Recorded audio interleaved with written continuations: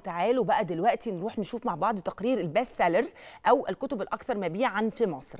ولكن المرة دي إحنا مش هنتكلم عن الأسبوع اللي فات بس إحنا هنتكلم عن آه، آه، السنة كلها. هنشوف مع بعض إيه هي الكتب الأكثر مبيعا خلال سنة 2022 ونرجع لحضراتكم على طول.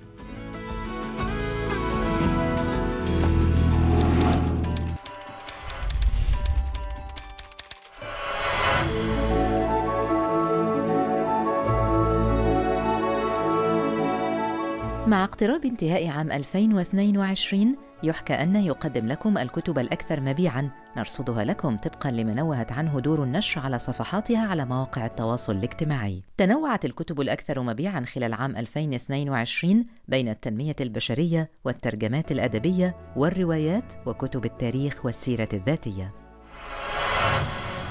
تصدر قائمة الكتب الأكثر مبيعاً كتاب فن التأثير في الآخرين للكاتب باتريك كينغ وهو من ترجمة منار محمد. ويتحدث الكتاب عن سر الروابط القوية التي تجمع الناس ببعضهم وكيفية أن تصبح شخصاً محبوباً في أي مكان. ولعشاق الرعب جاءت في المركز الثاني رواية نادر فودة سبعة للكاتب والإعلامي أحمد يونس. ويمثل هذا الكتاب حالة منفصلة عن جميع ما سبقه من أجزاء تحت نفس الاسم نادر فودة حيث توجد بداخله أحداث وتفاصيل جديدة ومثيرة وإجابات أسئلة دارت في ذهن جميع القراء. في المركز الثالث جاء أحدث أعمال الكاتبة الروائية الدكتورة ريم بسيوني بعنوان الحلواني ثلاثية الفاطميين وهي ثالث الثلاثيات التاريخية للكاتبة بعد ثلاثية المماليك والقطائع.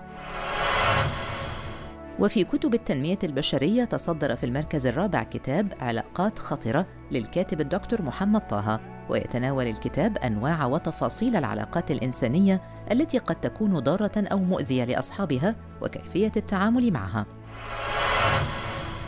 ويأتي في المركز الخامس كتاب القتل للمبتدئين للكاتب أحمد مراد ولأول مرة يحكي الكاتب عن كواليس كتابته وعن كيفية تطوير منهجه على مدار السنين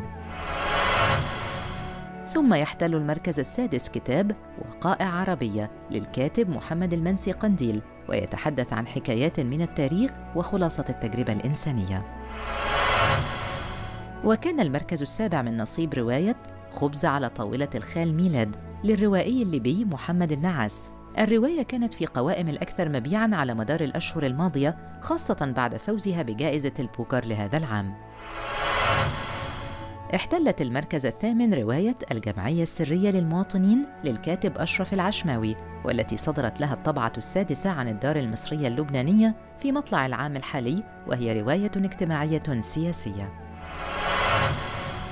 في المركز التاسع جاء كتاب مذكرات عزة فهمي تحت عنوان أحلام لا تنتهي. تناولت الكاتبة حكايتها ورحلتها بكل تفاصيلها. كتبتها وحكت فيها حكايات عن حلمها وكيف تحقق بالعزيمة والعمل الجاد.